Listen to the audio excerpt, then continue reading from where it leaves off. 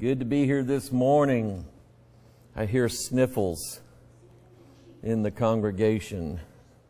It's the sniffle time of year. Certain things are high in the air, mold, ragweed, things like that gets to you. Book of Galatians, chapter 2. Good to have everybody here, everybody joining with us online. Got a call this morning from a family that is in India that is watching right now. Good morning, Richard and all your family. So it's good to have you with us this morning. Everybody online, we appreciate you. And we thank God for you. Galatians chapter 2. Um, I, I kind of got ahead of myself last week I had, I had studied ahead and made notes ahead for chapter 3. Then I realized I wasn't anywhere close to being done with chapter 2 because last Sunday I asked about what, in your opinion, constitutes witchcraft. And that's the question, or that's the issue that Paul brings up in chapter 3 when he says, Who hath bewitched you? And I think the words are there for a reason. I think there was and I'll explain this a little bit better as we get into it. It won't be today. But when you study the scriptures, you realize that there are two religions in the world. Only two. And Brother Kelly came several years ago and he preached this one time. It really just made me think. And he said there's two religious ideologies in the world. There's only two of them two types of religion. And he said, do and done. And he said, our religion is done because Christ did it. And he did it all. He was the only one that could. He's the only one that qualified. So we believe then in the finished work of Jesus Christ for our salvation. But then you have the other religion, which is do. And it's always a perpetual doing. You must always do this, always do that. And that's sort of what we were looking at um, earlier when Paul was explaining um, the different the differences between the, the, the two ideas of the gospel, whether there's the real gospel, which is Christ has already done it, and then the Jews' religion, which is you must constantly do this, must constantly do that, and so on. And I explained here a couple of weeks ago that the law-keeping religions, Seventh-day Adventist, Hebrew roots, sacred name, and then you, whatever religion there is, you throw that in there. Whether it's Buddhism, or any of the Eastern religions, there's always a perpetual performance of something that must be maintained in order for you to get whatever blessings there are in heaven. Uh, somebody sent me this article, Catholic Church admits the Seventh-day Adventists are keeping the true Sabbath. Now, what's interesting to me is there is an alliance in Turkana, Kenya against this church and this ministry. And it is, involves the priests of the Catholic Church and those of the Seventh day Adventist religion. They both equally hate us the same over there. And um, we suspect that a lot of things that have gone against us over there has been the result of both of those groups working against us. And so Paul then goes into, in the remainder part of Galatians chapter 2, he goes in, basically says it in no uncertain terms. This is one of the things you look for. If, if let's say you're listening, you, you happen upon a video on YouTube, uh, or a website, or something, something on Facebook, and you, you start listening to somebody, and they're talking about you know, how Christianity is you do this or do that, and, and it, you're not sure if they're right or not. What I've found is, almost without fail, these law keeping groups will have a Bible study on that focuses on the book of Romans and the book of Galatians. And the reason why is Romans, Galatians, and Hebrews are basically the three books of the New Testament that destroy law keeping as a form of salvation. They absolutely destroy it.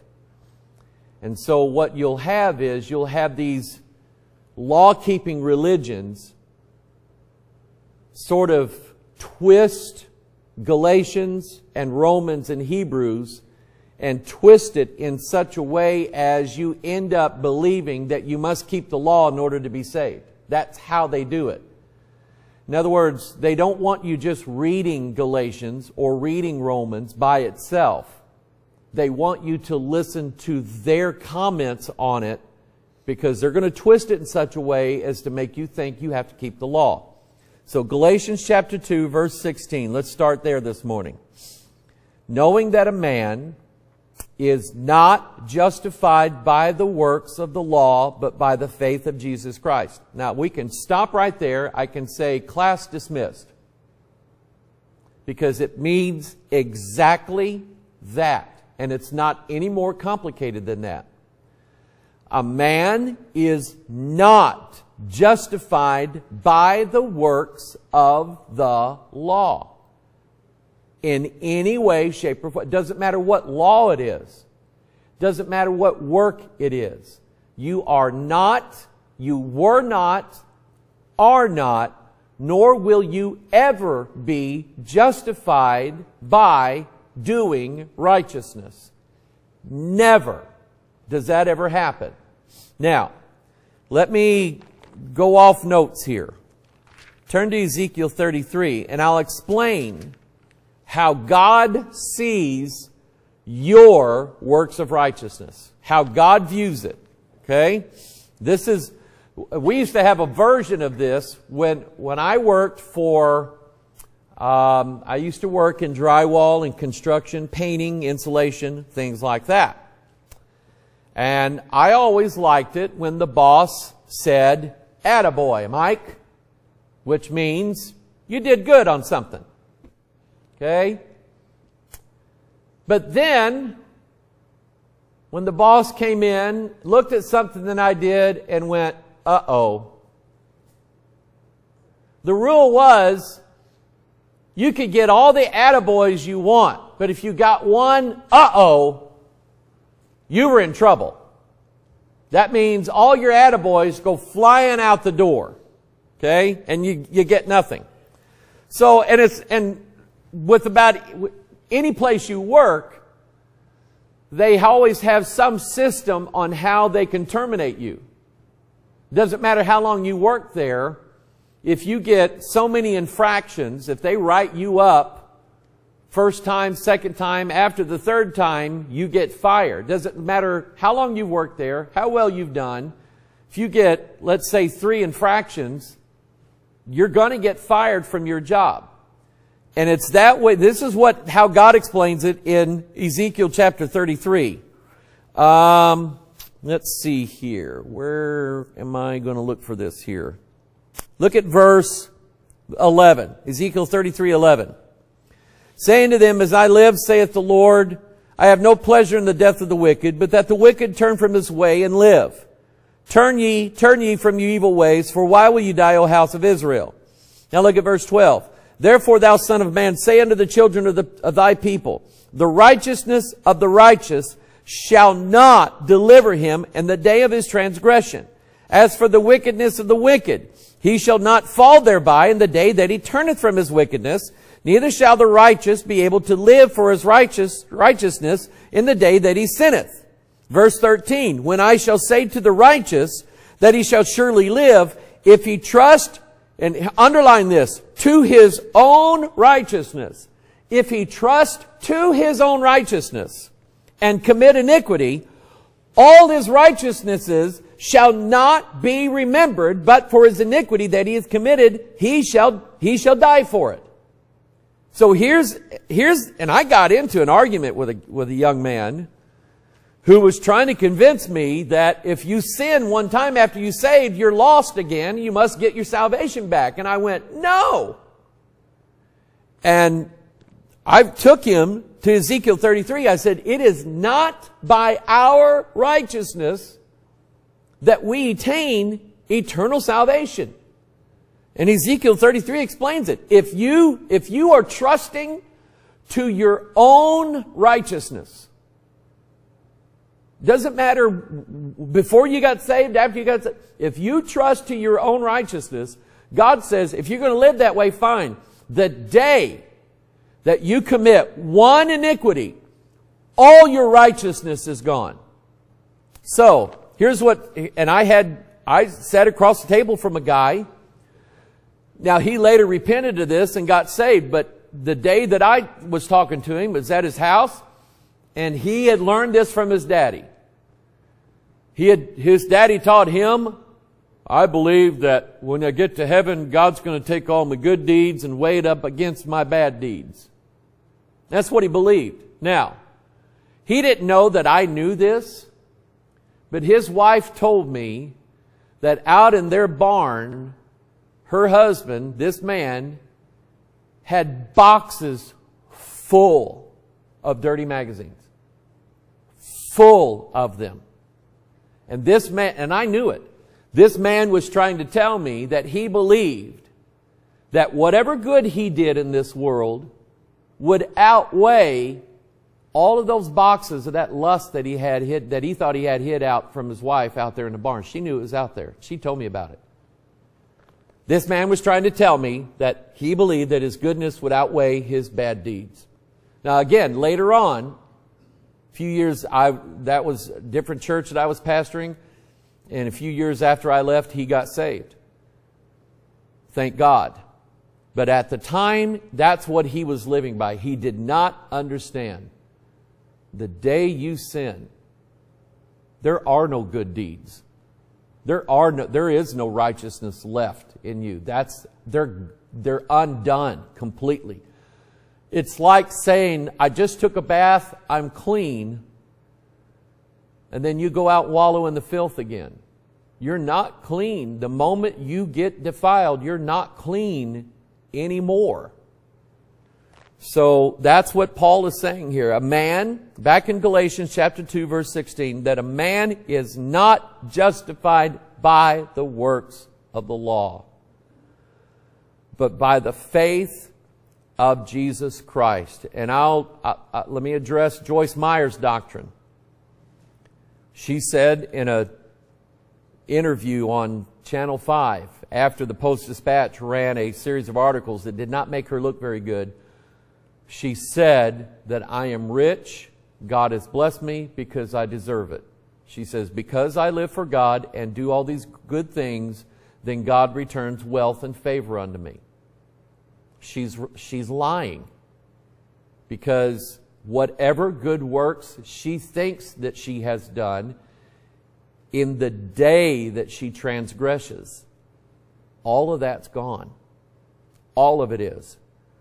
Knowing that a man is not justified by the works of the law, but by the faith of Jesus Christ, even we have believed in Jesus Christ that we might be justified by the faith of Christ and not by the works of the law. Period. For by the works of the law shall no flesh be justified. Verse 17. But if, while we seek to be justified by Christ, we ourselves also are found sinners, is therefore Christ the minister of sin? God forbid. For if I build again, and here it is, here's, and this is what I see happen with people. If I build again the things which I destroyed, I make myself a transgressor. Now you think about your past, the old life. You think about the old you. Does a dog return to its own vomit? Yes. And that's what happens when someone they make a profession of faith, endure for a while, and then go right back out to the old ways, living the old life, doing the old things, only this time they're in it much worse. and it gets much worse on them. Paul said, You're out there building again the things that you destroyed. And said, You make yourself a transgressor again. For, though, for I, through the law, am dead to the law. And so the, the law then covers the body of this, Paul calls it the body of this death. And I got a sermon this morning. Um, I didn't want to preach it. I thought I would try to change it, and God just kept bringing me back to it, and it's about death. And I, I, figured there's probably a good time to preach a sermon like this and a bad time to preach it. So right now, we haven't had any deaths in a while, so now would probably be a good time to preach it. And it's about the death of a saint. That's how we're going to heaven, people. It's how we're going.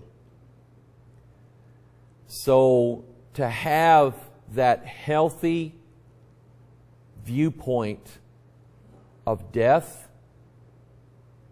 what God, how God then is going to transform us from this world to the next. Death is something then, it, number one, it's going to come whether we're ready for it or not. Number two, it's going to happen whether we're saved or not. It's best to, for it to happen when you're right with God than it is when you're lost. Amen? But it's going to happen no matter what.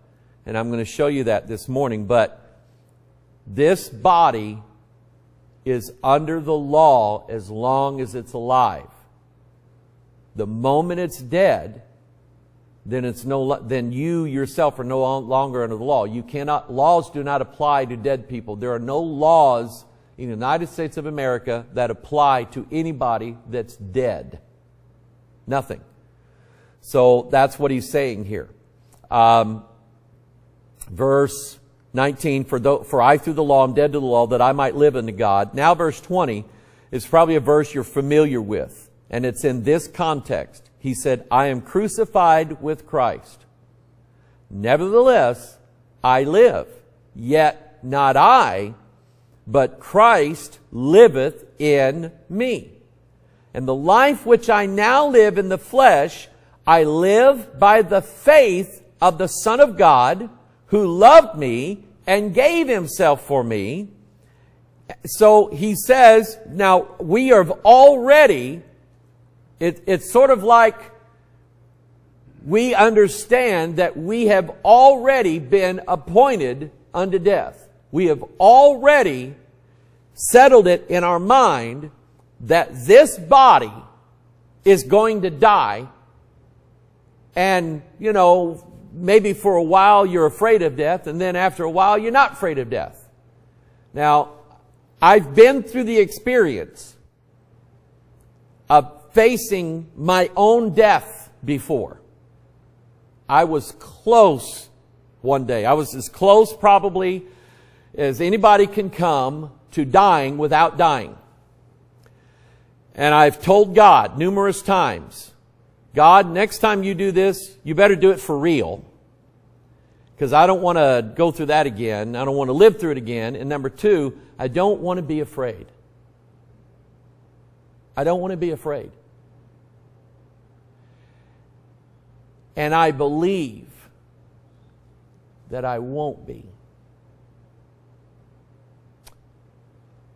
I will never forget Sister Betty when Brother Lee passed away. I'll never forget that day because the hospital called me and said, He's not doing well, come over. So I don't know if you remember this, but you came out and met me in the hall and said, I don't know what you're going to get out of him. He's kind of talking out of his head. If you remember, when I walked in that room, he looked at me and said, Hello, Brother Mike. And I talked to him for a little bit, and all of a sudden he stopped and he started praying. So we all prayed. And when he got done, he said, I just wanted to make sure. And God led him to that. There's no doubt in my mind, God, And that man died that evening, died in peace. He wasn't afraid. Wasn't afraid. And I have been with saints who maybe they knew they were going to die, maybe they didn't. I remember one guy, he was up at St. Anthony's Hospital. He had had a, he was going to have a cardiac catheterization that morning because the day before he had a stress test, that didn't go well. And me and his family is all in his room with him, and he's just, we're just kind of kidding around trying to lighten up the atmosphere because he was in pretty bad shape. And he just out of the blue said, I want everybody to know in case anything happens to me, I want you to know where I'm going today. And that man never made it off the table. He died during that cardiac catheter. He knew. He knew. God put it in him. That man had peace in his heart. And that's the kind of thing I'm talking about. When it's my time to die, I do not want to be afraid, and I don't think God will let me be afraid. Okay? And I want you to have that hope. I'm not saying just me. I want each one of us to have that confidence that God, you know, he says in 1 Thessalonians 5 when he talks about the day of the Lord, so cometh as a thief in the night. But he said, we're children of the day, so that that day will not overtake us as a thief. And I absolutely believe that. And I've seen it too many times where God's people knew. They may not have been able to say it, they may not have been able to articulate it, but their soul was at peace with God and they knew it. And I believe that. So this is the this is what we're talking about. We know that our confidence is never in our flesh and what our deeds have done. I don't remind God how good I've been because I know better. I just simply plead unto God and believe and I trust in Him. And this is what I'm referring to two religions, do and done, Bible Christianity, and the do religion is witchcraft. Because witchcraft always requires certain rituals, certain words, certain things to be done in a certain way, and we'll get into that a little bit later on. But he said, I'm crucified with Christ. This body, count this body is already dead. Nevertheless, I live, yet not I, but Christ liveth in me. In the life which I now live, I live in the flesh by the faith of the Son of God who loved me and gave himself for me. Verse 21, I do not frustrate the grace of God. In other words, I don't then, now that I know that my salvation is coming by way of faith, I don't go about trying to establish my own righteousness, thinking that if I do this, then God will see me and God will bless me. I don't frustrate the grace of God. For if righteousness come by the law, then Christ is dead in vain. Why did Christ die on the cross if we can attain righteousness by doing the works of the law? If Christ died for us, it means God sending message to us, you cannot do it for yourself. Nobody ever has and nobody ever will. So turn to Ephesians 2. Paul backs this up. The Bible backs this up in several places. Ephesians chapter 2, verse 8. And these are some of the verses that we use with someone who we are either trying to show them the way of salvation or we're trying to encourage them in the way of salvation after they're already saved. Ephesians 2 verse 8. For by grace are ye saved through faith. And really, that sums up the whole of the doctrine of salvation. It is by God's grace. Grace is always unmerited favor. It is never earned, ever. It's always just God giving it to you. It's like me giving candy to the kids. Matthew's here this weekend and little Lawson came into my office this morning, so I gave him candy. So, just, you know, between, between the assembly and Sunday school, the other grandkids coming in getting candy. Well, here comes Lawson in with his hand out. I already gave you candy. So I gave him another one. He already had a piece. I gave him another one. Why? Because I'm grandpa. And that's what we do. He didn't earn it. I just gave it to him. When we tell the kids before Christmas, if you don't behave, you're not going to get your presents. My mom told us, behave, you won't get your presents. One time, mom and dad went out shopping one night, left me and Melissa home. My sister comes to me and says, I know where mom and dad hid the presents. You want to see them? Yeah. So we went and looked at them. Mom come home. Knew that they had been moved. I don't know how moms know, but her radar went off. Knew and she came in, looked at both of us, and we're just sitting there guilty. And boy, she was mad. She said, I'm not going to give them to you now. I'm going to take them back to the store. We got them anyway. We got them. Why? You didn't deserve it. Because she's mom. She loved us. She gave it to us. She gave us meals, gave us clothes to wear, bought us stuff for school. Why? because that's what parents do. They love their children and they do for their children. Even when they grow up, we still do for them. Amen? Still doing for them. That's what we do because we're parents. We're grandparents. We do it because we love them. And that's what grace is. For by grace are you saved through faith.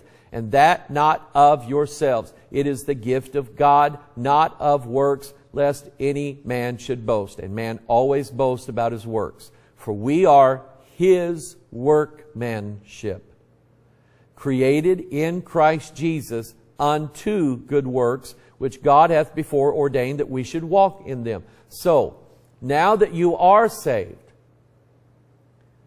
the good works that you did, were they yours?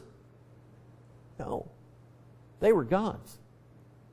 They were God's working through us. It was God's idea to have us witness to somebody, or it's God's idea to have us give something to somebody, or be nice to someone, or pray for someone. That was God doing that through us. It still isn't our works. So should we be rewarded for doing things that we didn't really do, that God did through us? No. Then God gets all the praise and the glory and the credit for it. But what he does then is that he shares heaven and then after the thousand year reign of Christ, he's going to share all of the new heaven and new earth with all of his saints. We get the whole of the new creation. We get it all. And nothing, nothing is held back. Nothing is. His workmanship, created into Christ Jesus unto good works. Turn to Romans 4. Verse 16. I have that up on the screen. Therefore it is of faith that it might be by grace.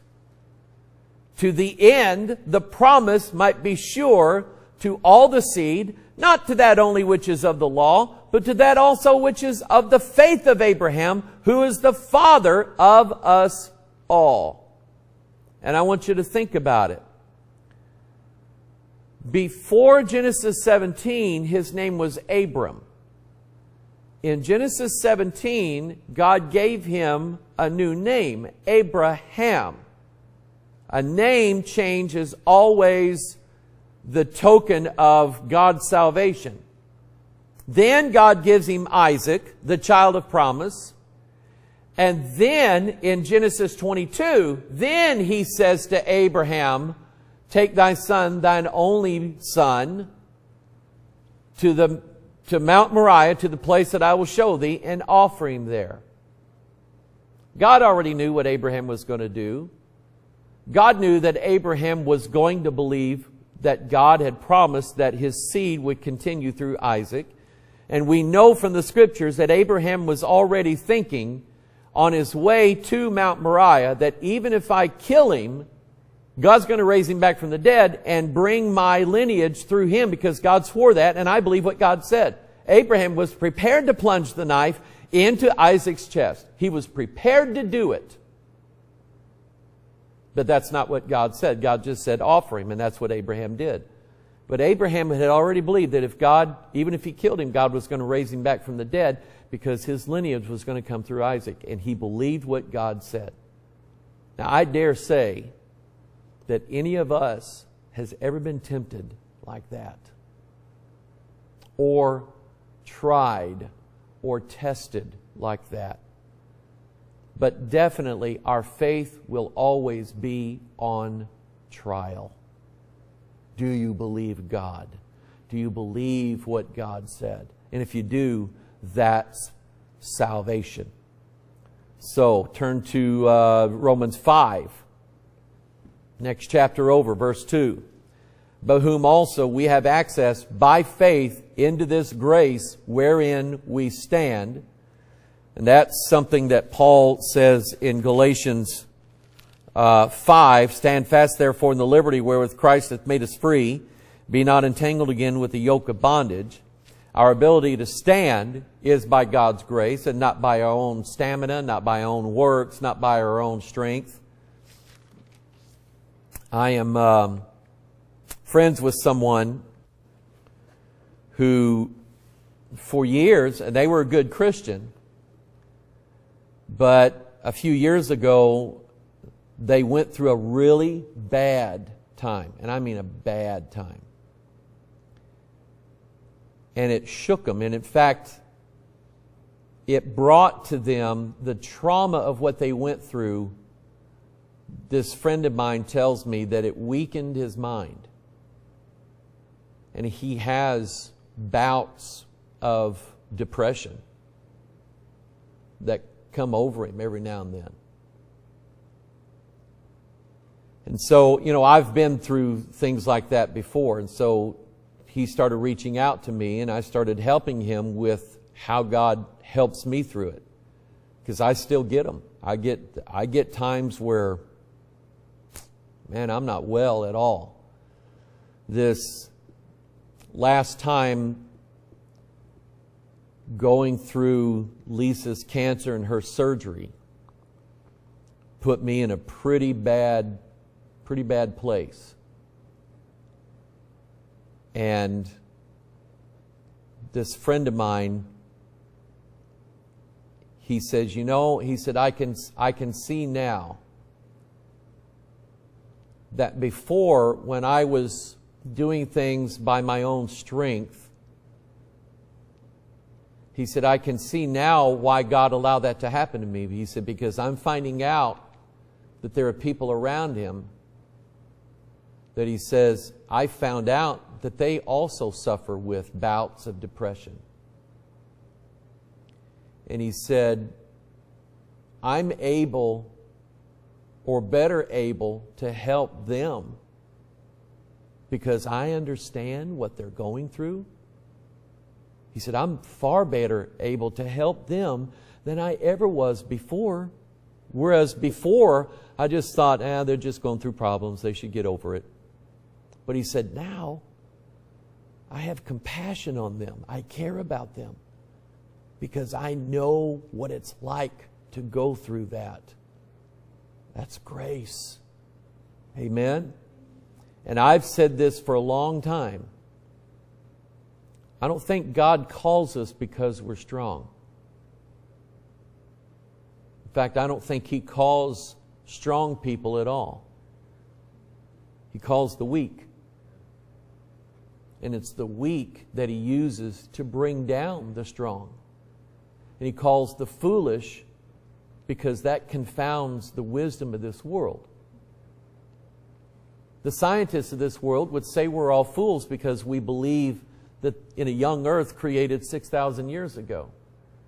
And yet we have wisdom that they will never, ever have by the grace of God. Uh, Romans 3 Romans 3.23 is uh, for all have sinned to come short of the glory of God. So Romans 3.26 says, To declare, I say at this time, his righteousness, that he might be just and the justifier of him which believeth in Jesus. Where is boasting then? And that's what I was saying a while ago about being strong versus being weak. When you're weak, you don't boast. There's nothing to boast about. It wasn't me. That was God doing that. Where is boasting then? It is excluded by what law? Of works? Nay, but by the law of faith. So, and that's the two laws. The Old Testament is the law of works. The New Testament is a different law. It's a law of faith. Therefore, verse 28, we conclude that a man is justified by faith without the deeds of the law. So maybe, maybe you're weak with your emotions. Maybe you're weak with fear. Maybe you're weak with lust of the flesh, various lusts of the flesh. Maybe you're weak in that you have lust of the eyes. You weren't saved by that to begin with, but that's what brought you to salvation. And God chose you then because of your weakness. Remember, and I'm going to, we, I don't know who's ringing the bell, but remember when Jacob was wrestling with the Lord in Ezekiel, no, eh, um, Genesis 32. He's wrestling with the Lord. And they're wrestling all night. And the angel of the Lord, the Lord says, Release me. And he says, I'm not going to release you until you bless me. So the Lord reached down and touched his hip and pulled his leg, his hip out of socket.